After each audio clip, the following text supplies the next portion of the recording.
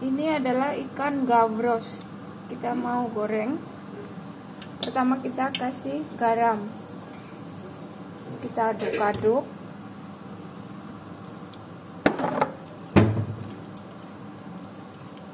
Lalu kita masukkan ke dalam tepung.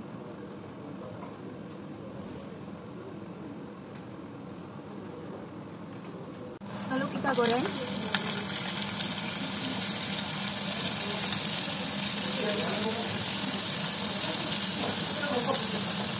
kita balik-balik.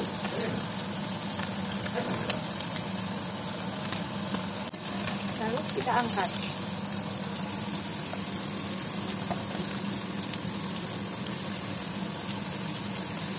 Ini namanya gavros tiganitos